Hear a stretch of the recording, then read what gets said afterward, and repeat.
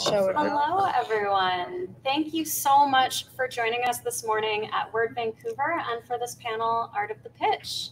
My name is Jessica Key. I am the chair of the Magazine Association of British Columbia, and I'm also the managing editor at subTerrain Magazine.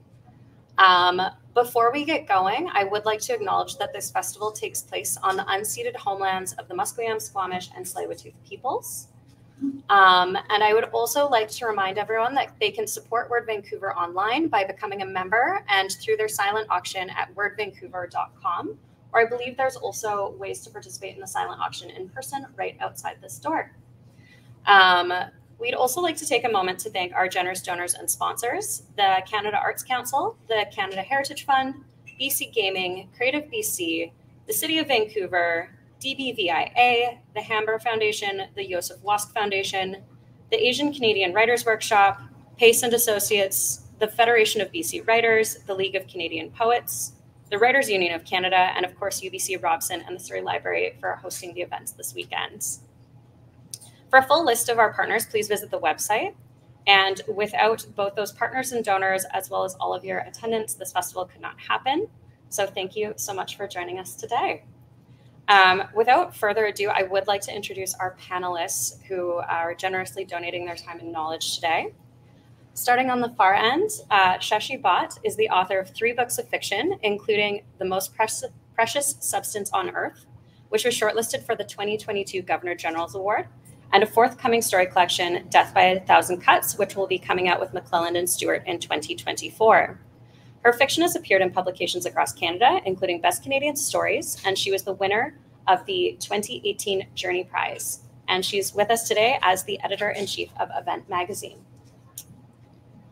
Uh, Vincent Beiser is an award winning journalist and author of The World in a Grain The Story of Sand and How It Transformed Civilization. The book has been translated into five languages, was a finalist for a PEN America Award and a California Book Award, and spawned a TEDx talk. Vince is currently at work on a new book, Power Metal, about how the shift to renewable energy is, while urgently necessary, also causing environmental havoc, political upheaval, and murder, and how we can do better. Vince has reported from over 100 countries, states, provinces, kingdoms, occupied territories, no man's lands, and disaster zones. He has exposed conditions in California's harshest prisons, trained with troops bound for Iraq, uh, written with the first responders to national natural disasters and hunted down other stories from around the world for publications including Wired, The Atlantic, Harper's, Time, The Guardian, Mother Jones, Playboy, Rolling Stone, The Los Angeles Times, The Wall Street Journal, and The New York Times. His work has been honored by investigative reporters and editors, the Society of Professional Journalists, the American Society of Journalists and Authors, the Columbia, Medill, and Missouri Graduate Schools of Journalism, and many other institutions. He has three times been part of a team that won the National Magazine Award for General Excellence and shared an Emmy for his work on the PBS TV special SoCal Connected. He is also a grantee of the Pulitzer Center on Crisis Repo. And we have Kristi Alexandra, who is a co-editor in chief at Loose Lips Magazine and a freelance journalist, editor, and proud working mom. When she's not at home watching Disney Plus with her daughter, you can often find her taking in the city's latest cinema at film festivals, or patronizing the local music scene. Her passions are music, culture, travel, and film, but, but above all, writing about them. Thank you all so much for joining us. Um, so, for our format today, I have um, some questions that I'm going to be asking all of our panelists. And then I will also give the opportunity um, closer to the end. If anyone has had any other questions come up, please feel free to put up your hands and we can uh, use these incredible brains to answer some of your questions about the art of the pitch.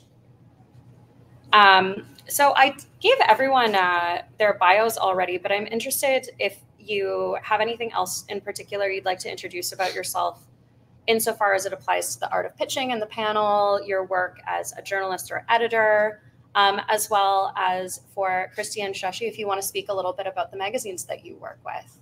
Um, why don't we start with Kristi for this one? Yeah, sure. I think um, I saw Vince put in like all the places that he's pitched to, and I was like, I'm just a jerk. So I've worked, um, I've had bylines like in the Georgia Straight, the Vancouver Sun. I've worked at um, like community newspapers in Surrey, etc. So um, yeah, so I have done a lot of pitching to publications. Um, Loose Lips Magazine, which is where I'm at right now, is a feminist focused magazine. So we write about women and gender diverse people. Um, and it's mostly arts and culture focused. So, what are people doing in the city and how are they making change? Great. Uh, Vince? Yeah, well, I've been. Um, I guess the reason I'm here is I've been a, a, freelance journalist for a long, long time. So I've pitched to, you know, all kinds of magazines that, you know, I listed all the fancy ones, but I've also written for all kinds of, you know, little magazines and niche magazines and obscure magazines and lots of magazines that don't exist anymore, which is part of why I do books now. Um, and I've also been an editor along the way. I worked at Mother Jones as an editor for a while and a few other places. So I've I've kind of been on both sides of, of the whole pitching process, which and believe me, it's it can be excruciating from either side. So, but there's definitely ways to, you know, things you can do to make it less painful and more sort of more productive. So, hope we'll talk about some of that. Fantastic. And Shashi? Yeah, um, so I'm a fiction writer, so most of my publications, aside from books, have been in literary magazines. Oh, sorry. You're competing with the uh, regulation system. Uh, yeah, so I'm a fiction writer. So um, most of my publications have been short stories in literary magazines. Uh, so a little bit different, probably, than the pitching process for you guys. Um, I've been at Event since 2014. Um, Event is a nationally distributed literary magazine. We're based at Douglas College in New Westminster, um, and we're in our 52nd year of publication. We publish short fiction, poetry, creative nonfiction and book reviews, and also what we call notes on writing, which are um, like short personal essays from notable writers across Canada talking about their writing lives. Fantastic. Thanks for all of that, everyone. Um, just for a bit more context on me, in addition to working as the chair of Mags BC, as the managing editor of subTerrain, um, we're set up quite similarly to events, we do fiction, um, nonfiction commentary, poetry, book reviews, and art.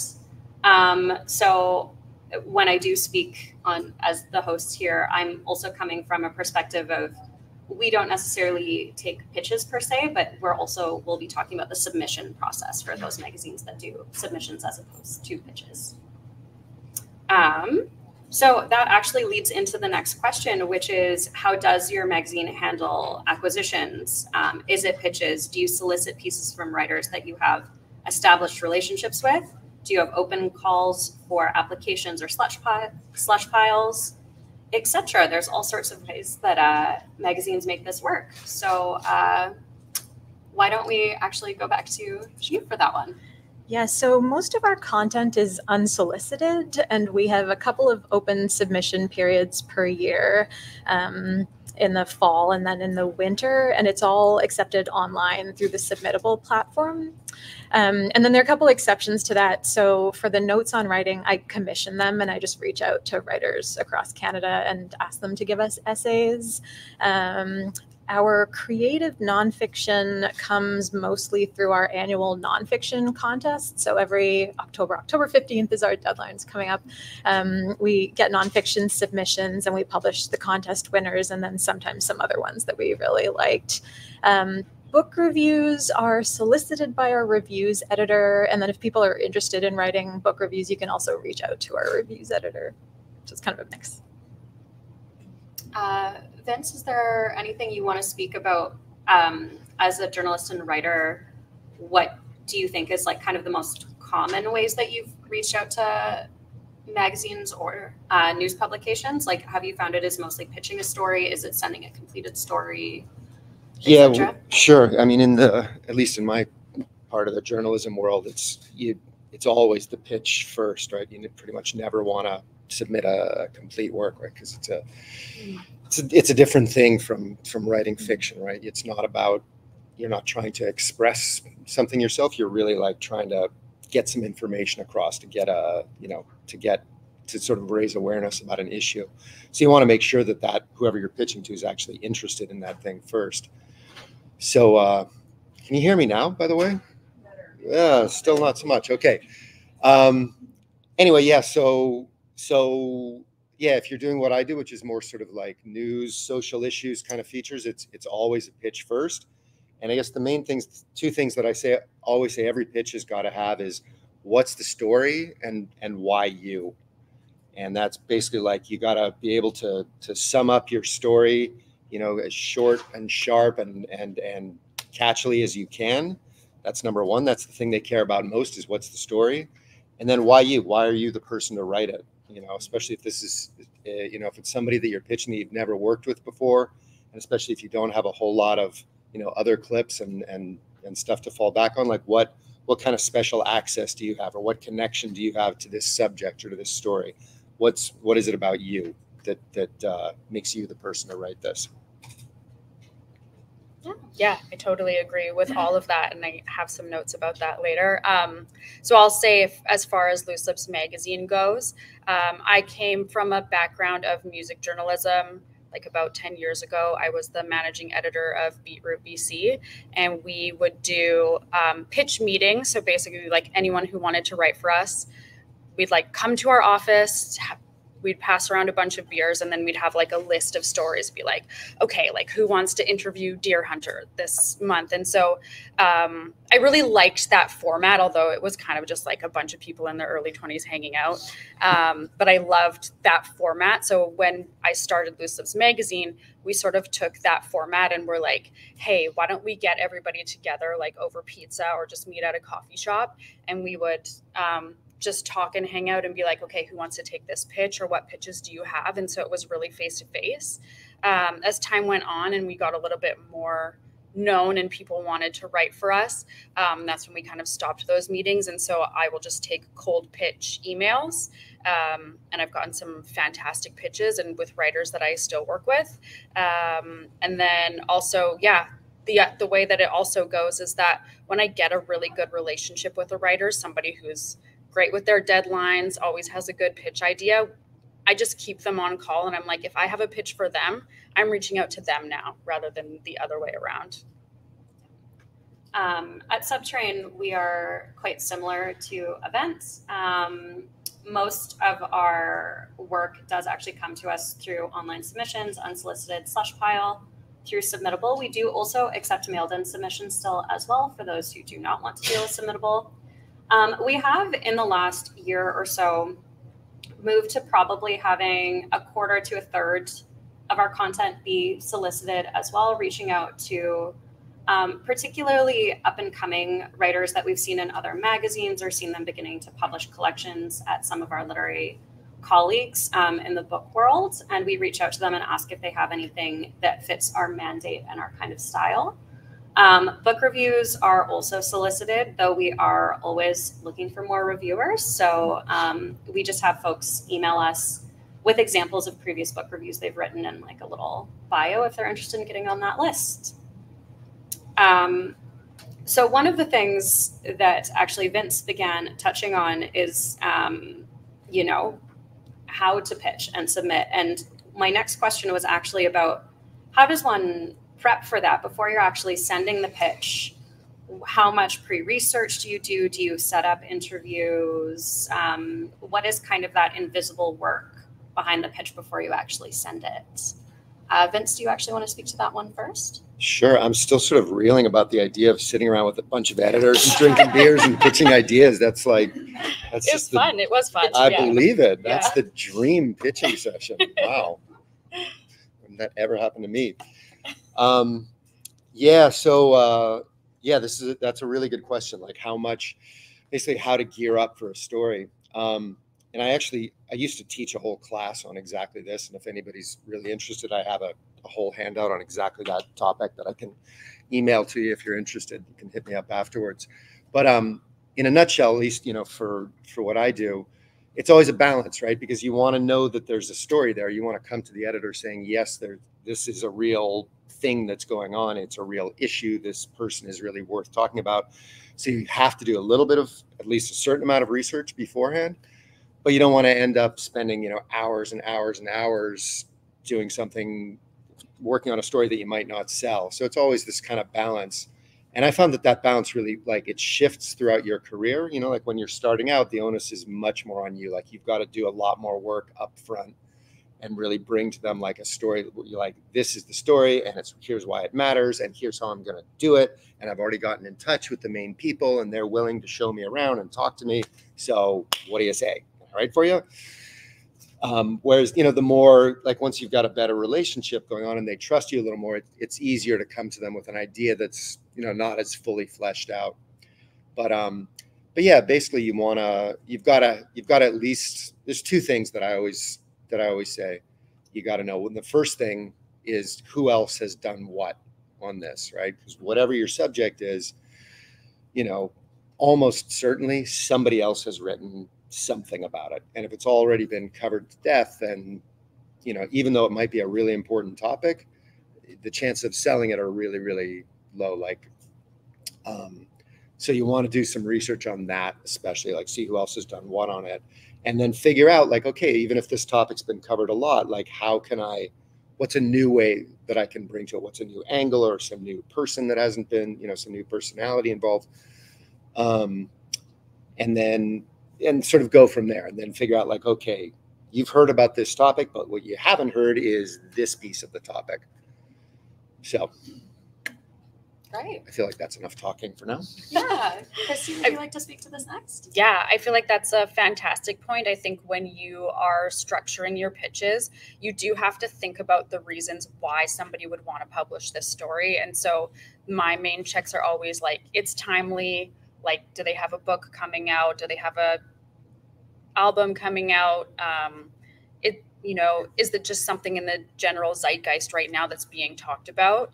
Um, so that's like so timely, relevant, and then also like if you're talking about a person or something that's happening, is it like is it new information? Like is this so and so is one of the first to you know um, figure out the next COVID vaccine or something like that. It's like it has to be like fresh, new, one of the first, and what's your special access to it.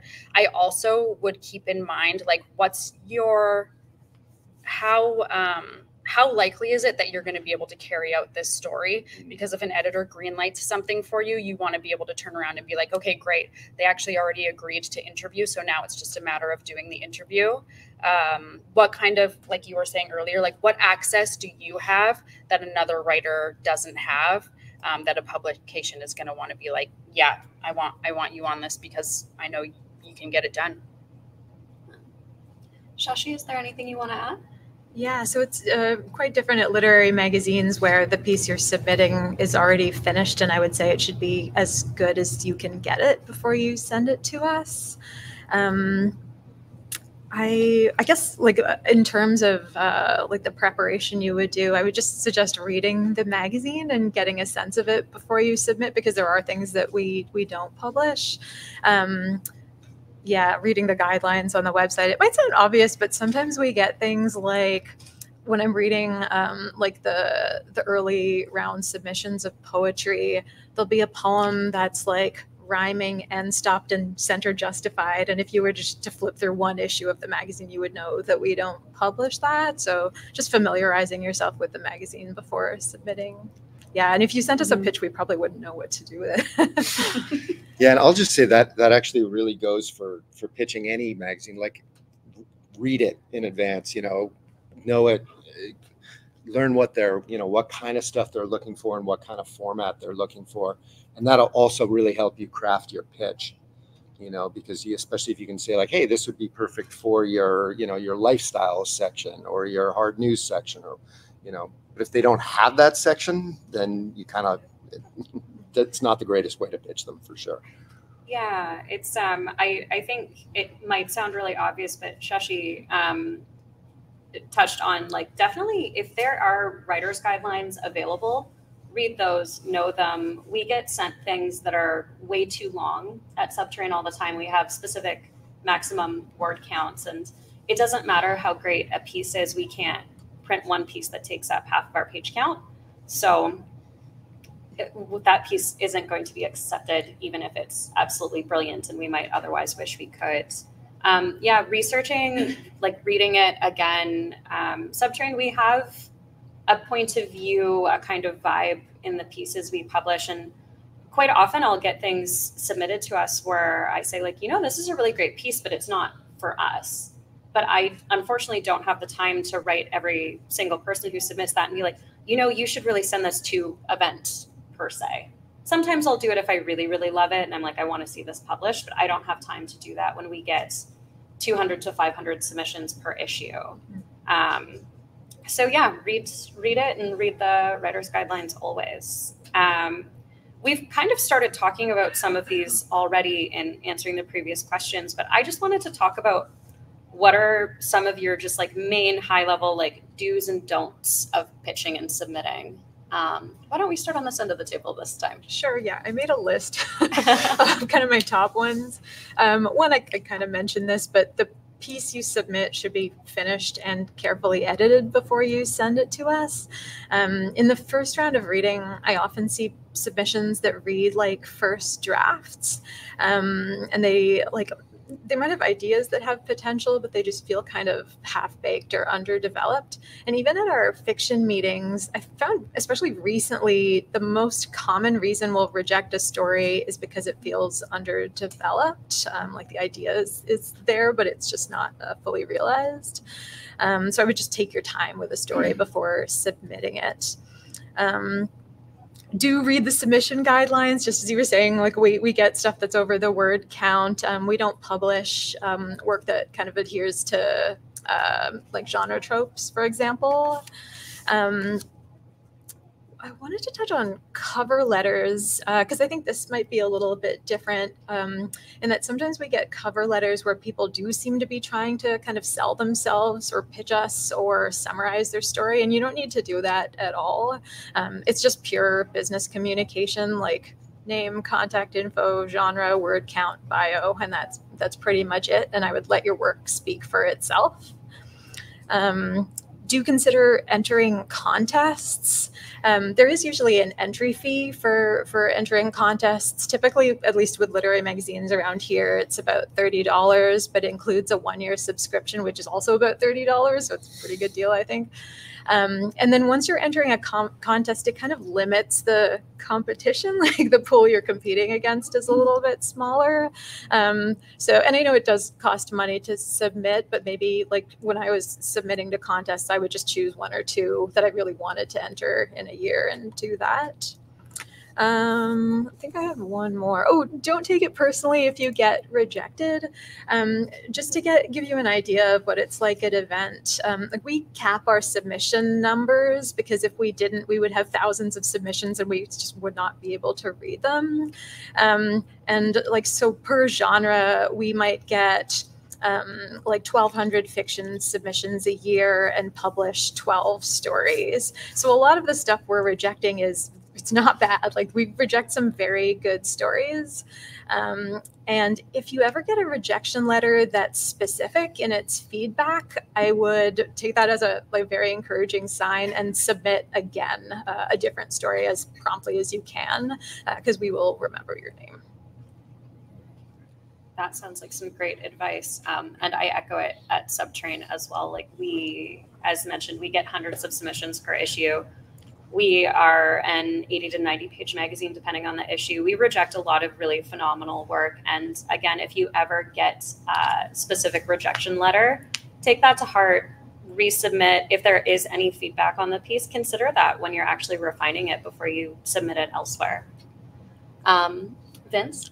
Yeah, I think don't take it personally is, is a fantastic piece of advice because you're going to get a lot of rejections and it's you know it's not necessarily anything to do with the quality of your work or who you are. Mm-hmm. it's just like basically everybody you know anybody who's putting out a publication is getting deluged with stuff and half the time they can't even you know read half the stuff that comes in.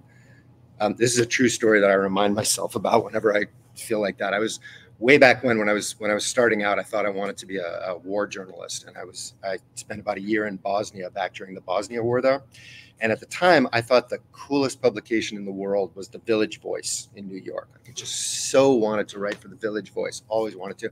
So the whole time I was over there, I was pitching them nonstop. This is like very early internet days, so I was like faxing them stuff, you know, seriously, and like sending them letters. And every now and then I'd like break down and like try to call them. Nothing, nothing. Didn't never heard back from them once the whole time I was there. Not even a response. So about a year or two later, I wind up living in New York, and I'm still pitching the Village Voice, still trying to break in there. And finally, like somebody returns my call. Oh my god, I'm so excited! And I get to go there, and I sit down with the big editor, and he's like, "Oh yeah, well we really liked your pitch. You know, I think we're gonna run your story." Yes. he's like, "Well, tell me a little bit about yourself. You know, what uh, where are you from?" And I was like, "Well." Uh, you know, I grew up here and there, and then uh, I was uh, in Bosnia for a year. And he goes, Bosnia? Oh, you should have pitched us from there. We would have loved to have had some stuff from there so God knows what happened to all those pitches that I sent. They just, you know, they're somewhere probably sitting in a slush pile still to this day.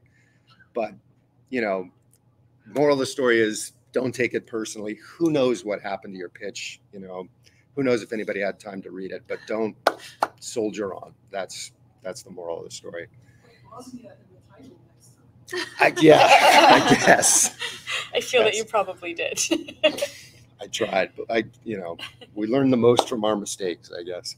Yeah, I think to to follow up on that, that sort of is my due because editors do get a lot of pitches, and sometimes we're like, open an email, and then a bunch of other things come in. So I would say what you do want to do if you've got a really great pitch is do follow up once or twice. I mean, if you're following up five times, like maybe at that point you're annoying somebody, but but follow up once or twice, and I would give it like a week and then another week and just making sure that you saw this um, and here's here's my don't don't simultaneously pitch your story to multiple editors or publications at the same time.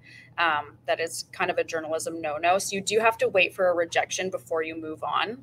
Um, and so that's why i say follow up once or twice. Because if you've got a great story and you're like it's going to fit this you know this is your number one publication that you want it to go to. It's going to fit this publication. You probably have an interview in the wings, um, follow up once and say, hey, if I um, if you're not interested in this, let me know by X date, maybe, um, because then I'll move on. You know, I've got a really great lead here. And then the twice is like, okay, I'm moving on to another publication. But if two publications love this story and they're like, one's like, yes, the second one's like, yes, you're going to have to break it to one editor. Oh, I'm actually not going to do this story with you. And that's kind of a burned bridge uh, depending on who you're working with but yeah it doesn't doesn't reflect great.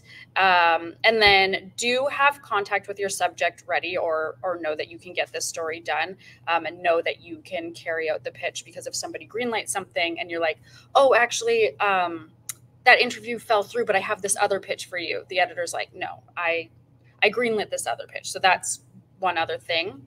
And then also um, don't promise on a deadline that you can't deliver. Like in your pitch, you want to be really clear about your subject, you know, kind of how fast you can get it done, what your word count is.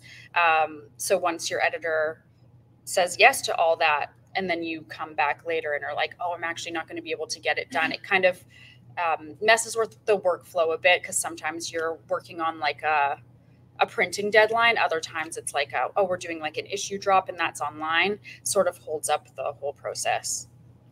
Yeah. Can I can I just yeah. follow up on two things you said there? So one, I totally agree. Following up super important, Mm-hmm. and I all I really recommend following up by phone, which is Mm. terrifying to like most writers. yeah. I know, but um, and uh, including me, but like I just found like I mean, I always first follow up I always do is by email for Mhm. sure. Mhm. But I also like email is just so easy to ignore. You know, we all get So so, many emails and they just look the same. And um, and phone calls really like still have a have a way of punching through. Even though I know like most of us like do not want to like talk to an editor. Like there's a reason we're writers, right? Mhm, mhm. but I don't know. For me, I found it. I just found it super effective because so many times, like I, you know, I'd screw up my nerve and I'd call the editor and I'd actually get them on the phone and they'd be like, "Oh, that sounds like an interesting story. Oh, oh yeah, here it is. Oh, I didn't even see that." Happened happens a lot. And what I would always to like sort of deal with the like terror of talking to an editor, I would pull up the pitch. I'd have the pitch sitting there on my screen. So if you actually get them, if they actually pick up their phone, because usually you're just leaving them a voicemail, right? Mhm. But if you actually get them on the phone, you don't want to what you don't want to say is like oh I, I pitched you something i think it's in your email queue please take a look for it bye Right. no Yeah. you want to be like oh you didn't see it well here's the story in a nutshell and you can kind of basically just read out your pitch to them right then and there. So i found that was helpful and it also like set my nerves at ease. But also on the thing of simultaneous submissions this is it's kind of a controversial thing. I like most editors will tell you don't ever do that. Mhm. my personal philosophy is do it. Okay, I want to hear why. why? Because most of the time you never hear back right. Most pitches that you send out there you never hear back anything you don't even get a no right Okay. and okay. especially if you're if you're doing a like a news anything that's like pegged to the news anything that's like a current event that you kind of need to get out there right. quickly you need to if you if you like pitch to one magazine and you wait for three weeks to hear back from them you never hear back and then you pitch to the next magazine you don't hear back from them either like you're going to starve doing that Yeah. I, so oh, sorry. anyway so what i do is uh, my feeling was always like god i should be so lucky that two editors want this story like usually Right. it's like nobody wants it so so what i what i did is like i would uh, i pitched to like two or three different publications and i would say that like at the end of the pitch just like by the way also pitching it to a few other publications um, but of course you're my first choice you know whoever you are and That's a good um, point. Yeah, it only it's only ever happened to me once in like 30 years of doing this stuff. Only once did I have two publications who both said yes. And what happened? they were both totally cool with it. I went with the bigger and the more prestigious one, and the right. You're like whoever's going to pay me more. yeah, and the smaller one was the editor there was like, fine, I get it. You Yeah. know? So, so it is. You know, it can burn a bridge theoretically, but uh, anyway, there you have it. Editor Yeah. says no, writer says yes. Yeah. Yeah. Yeah. Up to you.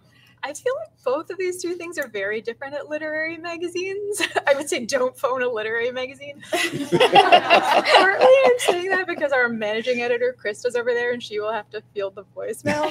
Um, but there are like two of us who work at the office every day and we're we're like at capacity like we we probably won't answer. I would say like our reading response time is six months so i wouldn't uh, contact us to follow up um, until after at least six months have passed. Um, and i would do it by email or through the submittable platform and then the other one, oh, simultaneous submission. So at lit mags, at least in Canada, typically most of them do accept simul- simultaneous submissions. I would just note that in your cover letter, like this is under consideration at other journals. Um, and, and what you should absolutely do is let us know if it has been accepted somewhere else.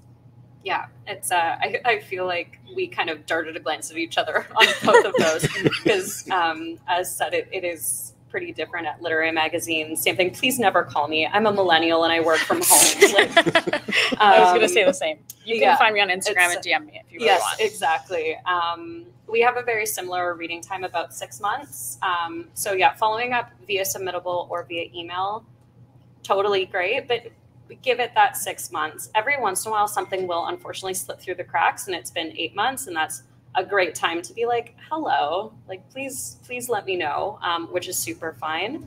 For us, we do allow simultaneous submissions, but definitely the second you find out from another publication that they're publishing you, please let us know because it's very frustrating when we are like, okay, yes, we send an acceptance to someone and they're like, oh, actually, this piece is getting published elsewhere. And I'm like, oh, well, that would have been great to know. Mm. Eight months ago. Yeah, exactly. um, the only exception to that is our Lush Triumphant Literary Awards. Um, we spoke a little bit about contests earlier, and with the awards, they are just a huge part of our workload, the reading on those. So we do ask that those are not simultaneous submissions. So in general, most places will have um, their rules about simultaneous submissions obvious on their website. And if it's not, I would say it's completely reasonable to drop them an email to ask what their uh, rules are on that.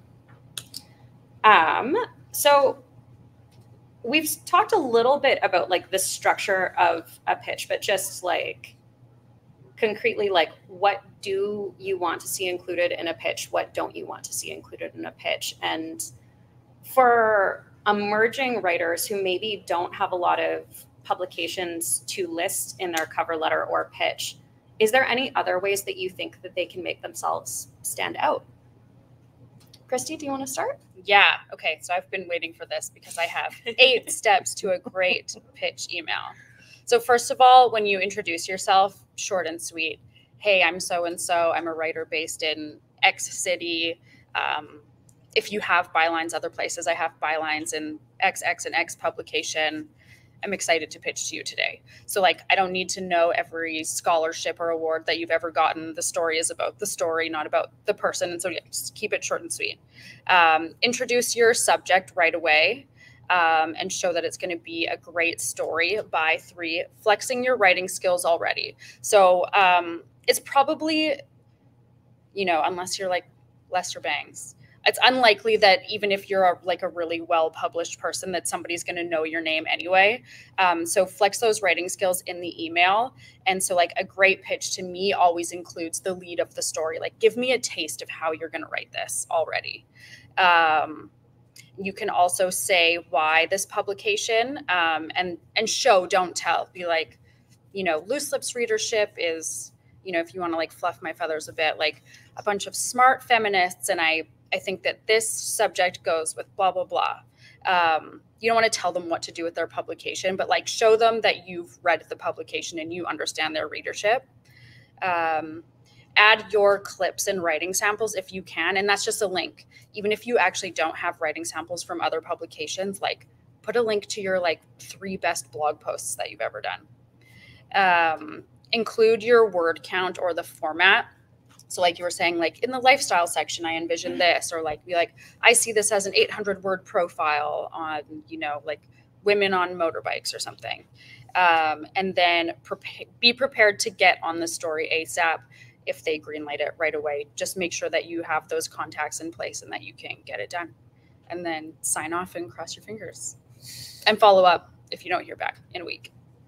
Excellent. Uh, Vince? Yeah, that I I, I second all of that. no disagreements on this question. No okay. disagreements. I'm just, yeah, I think that was really concise. I could, if I think of anything to add, I'll let you know. Okay, great. and you spoke a little bit about what you're looking for at event in a cover letter, but is there anything else you'd like to add? Yeah, uh, I guess in terms of bio, you can just mention previous publications, whether you have any related education or writing experience. If you're uh, like you don't have any publication credits, that doesn't work against you. Like we're always excited to find to, to feel like we discovered a new writer. So you could even say, uh, if accepted in event, this would be my first publication, and, and yeah, that won't be a reason not to publish you. Yeah, I, I echo that at subTerrain. We get really, really excited about emerging writers, absolutely. And quite often when I'm assessing submissions, I actually jump past the cover letter and read it. So I'm kind of reading the submission blind and really looking at it on its own merit. And then if I like it, I'll actually go back and read the cover letter after that and be like, oh, that's that's interesting. I'm actually familiar with this writer's work, or oh, they're very emerging. They just let's say finished the UBC MFA and etc. But I I really try not to let a person's um, publications or accolades affect my reading of their work because it really is about the work. Um, and I think mm-hmm. it is important to note that like you don't need an MFA or a bunch of publications to get into a literary magazine. Everyone starts somewhere. Um, it's as someone who actually does have a master's degree, it's really important for me at the magazine to not make it inaccessible to be in our pages or to work with us as an intern or anything like that. Like higher education is great if it works for you, but it is absolutely not necessary to be in a magazine. Um, so I think we've talked a lot about what can make a pitch stand out, what you're looking for when assessing it. Um, one of the things that we touched on a little bit earlier is about um, soliciting work. And um, I was wondering if anyone wanted to talk a bit about how those relationships get formed as your magazine or as a journalist, how you formed those relationships with editors, and if there's um, any advice you'd give a writer who's looking to get on a specific publication's roster for solicited work? Uh, Vince, do you want to speak to that one first? Um, sure. Yeah. So I guess, I mean, probably the number one thing is like do your job well, right? If you get an assignment, I mean, if you get an assignment and you can deliver it, you deliver it by the deadline at the word count. eh, That's that right there puts you like in the top, you know, 25% of all freelancers, right? It doesn't have to be brilliant. It doesn't have to be like, you know, sparkling prose, but just like if you actually just delivered the goods you said you were going to do, that's you're you're already ahead of the pack. Uh, and if you can do that consistently, editors are going to love you, right? I mean, that, that's always been my experience from both sides of it. Um, so so that's the number one thing. And then two, you know, of course, like anything you can do to like once you've you know once you've you've got a bit of a working relationship going, anything that you can do to kind of you know warm up that relationship. Um, uh, especially these days, right? When everything's, you know, when hardly anybody uses the phone and almost everything's happening digitally. Like I used to, um, I'd make a, a point of, you know, this only applies if you're really trying to do this for for your living. But I would make a point of, of going to New York once every year or two because most of the magazines that I was writing for and or trying to write for were in New York. And I would so I would spend go out there and spend a few days just going around and trying to meet with people in person, right? Like people that I'd worked with already, just to say, hey, oh, hey, I just happened to be in town. Uh, mind if I drop by? You know, even though the only reason I'm in town is like to try and schmooze these people up, but but, um, but it just make I found it makes a huge difference, right? Like once you've met somebody face to face, you've just got a way much more of a, a much stronger connection with them. Um, and that goes for people that you already have a connection with and people that you're trying to get a connection with, right? If you can pitch somebody face to face, that's way more, it's way more powerful. It's way more potent.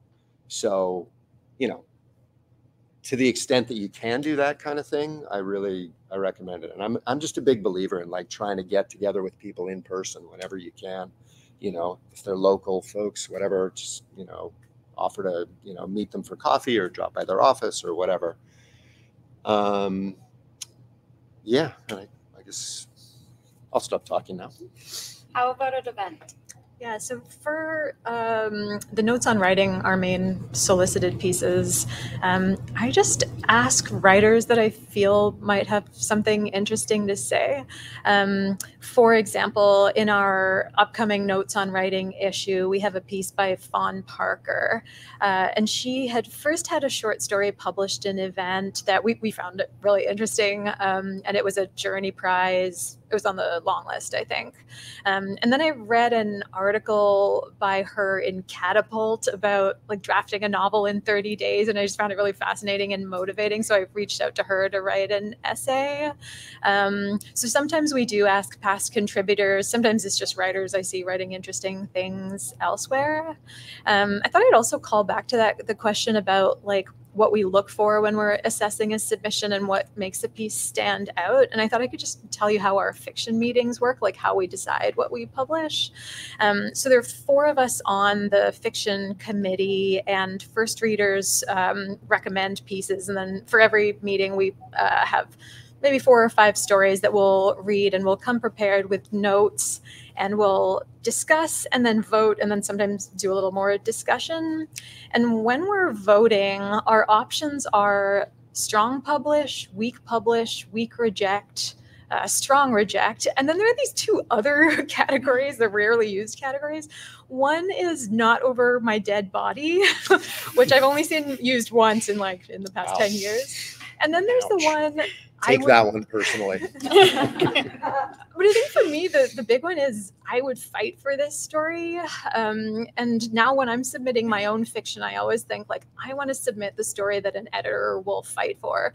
Um, and what makes that story could, could vary. For me, it's just like, I want something that moves me. Um, it- you know, you, a story might have sharp prose and compelling characters and narrative momentum and all of that stuff. But ultimately, I just want to feel something. Yeah, Christine? Good, good point. Um, I think I'll top up on that saying like the if you if you want to fight for a story, I feel that sometimes you get like a great pitch, um, but maybe the writer's not that strong, or like you just want to tweak it a little bit. And I think this comes part and parcel with being like, don't be like don't take it personally and don't get offended if an editor wants to work with you on something or sort of refine a pitch. Like be really open to your edits. I think that's one way to like keep that relationship going with an editor especially if you want to keep going. And i and i think too like that only just makes you a stronger writer. Um, and sometimes maybe the edits are not really like about you but it's about like the tone of the publication and so like a different editor would have different edits for you. Um, so be flexible in in that way i would say.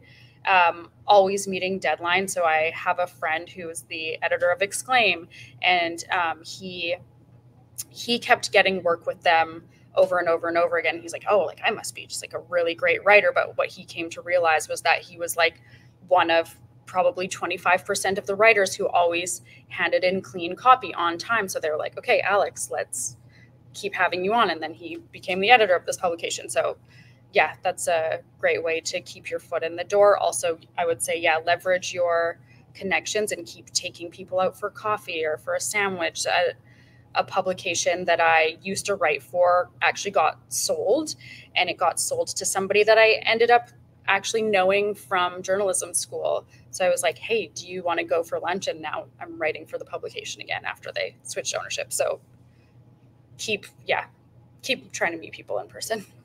Yeah, I, I really have to echo everything that's been said. Um, sending pieces as clean as possible to start with per, at literary magazines, like we are overworked. Um, so it, it can be a thing in your favor looking for me as an editor looking at it and being like i won't have to do a ton of editorial on this piece. That's a big thing in its favor. And again if you do get editorial notes being responsive to them that doesn't mean that you can't stet anything but try and consider why these editorial notes are coming to you and um, take them under advisement um, and answer as quickly as possible. That doesn't mean you need to be like glued to your smartphone and answering emails right away but try and get back within like a couple business days because generally once we get into production things move pretty quickly and i don't want to be holding the magazine for one piece unfortunately.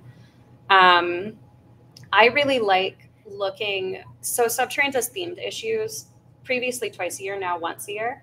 I like when people interpret our themes in interesting and surprising ways and that might then make me consider that person to be someone to go back to for a future theme like oh i'm really interested next year we're doing a trash issue. And so if someone did something really, really interesting for our forgiveness issue, I might be like, hey, is there anything on trash you're interested in writing about? Say. Yeah. Um, and I think being thoughtful in how you interpret themes can be a really good way to stand out.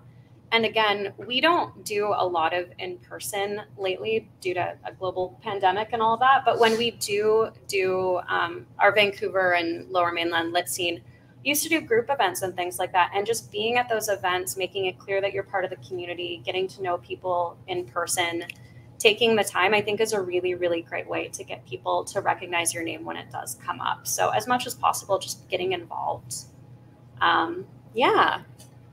So we are getting close to my last question. So at this point i actually just wanted to open it up to the floor to see if anyone had anything that had come up in the course of this discussion or if they had any other questions they wanted to ask. Yeah? Thank you very much for all this information. Uh, the definition of the word published past tense is really quite ambivalent these days. Could be anything from an online blog to the New York Times. So uh, if uh, someone submits something self-published before. Is that considered previously published? Uh, it hasn't been published, say, in a traditional publishing market, but it's been in a self-published. Uh, because, I mean, you know, it's clear who owns the copyright, but the question is whether that's considered previously published. For us, that would be considered previously published if it has p- appeared um, in any publication, whether self published or online. Um, we buy first publication rights. And then the, the copyright reverts to the author. Sorry, I didn't catch the last. We buy first publication rights. Yeah, so if it has appeared online, whether it's in a blog or self published, it would count as being previously published. Does, does anyone else have anything to Yeah, I guess that, that that would be the same. So if like let's just say you had a Tumblr blog or something and you're like, "Oh, I want to sell you this story." Like if you've already published it, I'm not going to buy it because it's already out there, but if you had a new story, I would publish that. But uh, if you're asking like, "Oh, somebody wouldn't want to publish you because you're not previously published," I would I would think that's not a consideration. It's about um, you know how good of a writer you are, how good your story is, and I think that I personally would be happy to be the first person who publishes you in that way. Yeah. Just a wee follow up. So, is there a time period over which something that has been, say, in an online blog, self published, no longer is out there and can be resubmitted? No, but there are there are magazines that do reprints. Um, so there are places that might be willing to to reprint it, but we wouldn't. Yeah, I would subTerrain. Um, we will do um, new versions of previously published things, and we also do do excerpts in the magazine. So we just end up putting like a note under the byline, essentially saying like a previous version was published X Y Z, or um, this can also be found at. Um, in our most recent issue, we reprinted something that um, Dan Wells of Biblioasis Publishing had actually sent out in their newsletter, and it just really spoke to us and what we were trying to say with that issue. So we reached out to Dan and said, like, hey, can we essentially publish your newsletter in our magazine? And then we just have a note that that is. So if um, magazines or publications don't have it obvious in their writer's guidelines where they fall on that, I would say don't be afraid to send them an email to check because some will actually publish things like that. Like we Mhm. we would certainly consider it. Um, This is maybe more like journalism specific, but I think like part of the stressful part of the teaching process is sometimes just like finding that story, you know, finding that story that no one else knows about, or you're the first person you have the connection.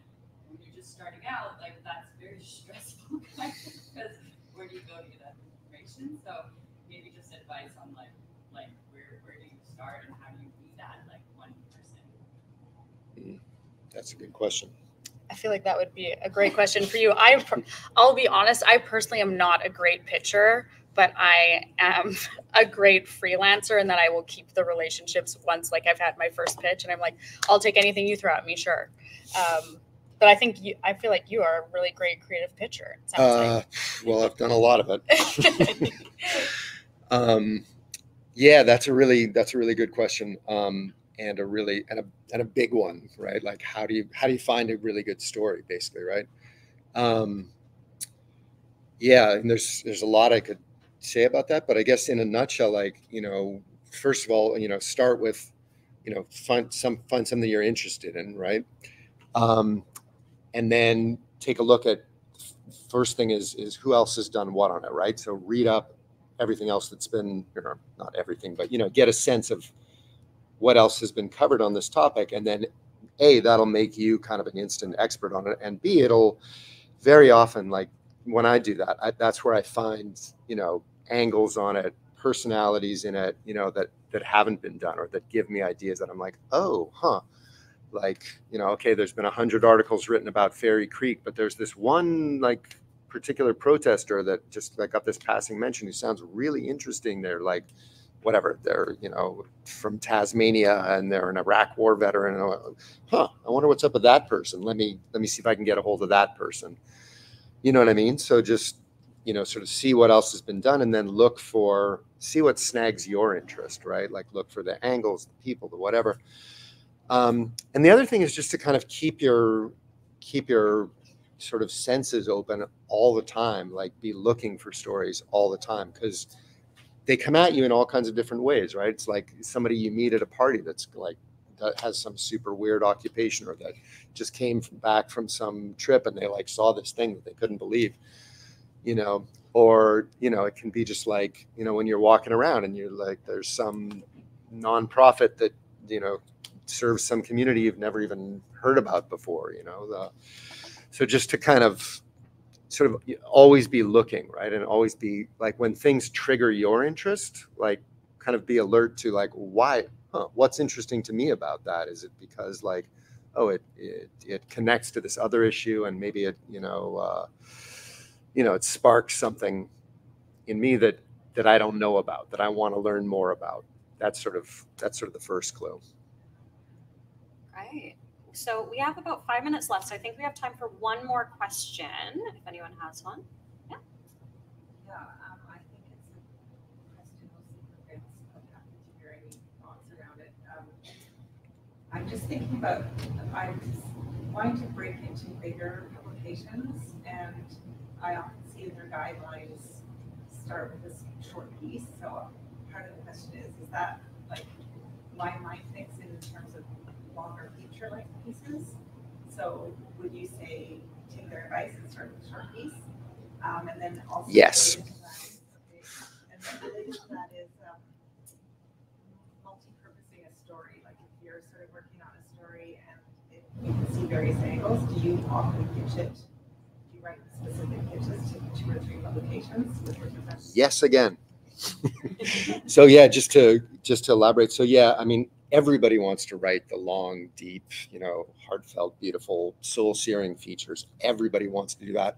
Um, it's hard, and not everybody is good at it. And they're and editors are going to be are much more reluctant to like give you an assignment like that if they don't know you can at least deliver the goods. Uh, that you can at least like you know that you've at least got some chops and that you're dependable, right? So so yeah, writing for those shorter pieces that are a lot easier to pitch, that are a lot easier to sell, that's a really good way to get your foot in the door and and get that relationship going and convince them that actually you're smart and you're competent and you're dependable, right? So yeah, I mean, I that's how I got my foot in the, in the door at a lot of lots of places, um, and also they're you know they're easier and they're quicker turnover and you can make a little more money and you can you can be doing more of them and you can sort of be moving your your career forward more quickly rather than spending months on a feature that you know you might not you might not be able to sell. So yes to that. Um what was the second thing that you oh yeah multi-purposing a hundred percent a hundred percent. So like most places don't want to do reprints especially now that everything's online like it's, it's really it's almost impossible to sell a straight reprint but what you can do and what i did a lot especially when i was starting out is like take one story and spin it for a different audience because pretty much every magazine serves a niche right? It might be a really big niche you know it might be rolling stone that's like covering you know millions of music readers or it might be like a really you know like a local publication that's just covering like local bands or or whatever it is.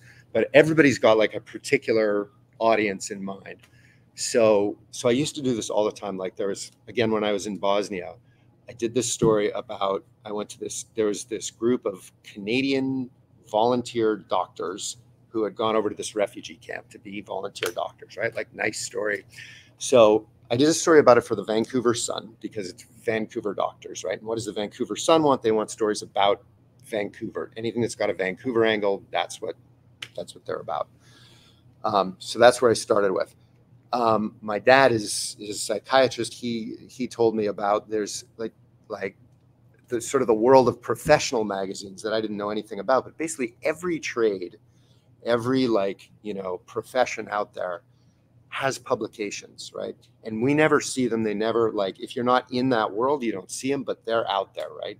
As you know, Hillary Peach can can attest better than anybody in this room probably but basically there's a whole world of like trade and professional magazines that are really like they want stories. Most of the stories they get are really boring and they're super psyched. If you can bring them something that's like actually interesting and relevant to their audience that's out of the ordinary. So like so i didn't even know this thing this world existed but because my dad got the ontario like doctors monthly whatever it was the like you know the monthly magazine that went out to like every medical professional in ontario he told me about them. I pitched them this same story but like much more kind of medically right? Like it's like about doctors and i just basically the same story but with a lot more with some more information about whatever the specific you know practices that they were doing and the equipment that they brought just like more kind of technical sold it to them.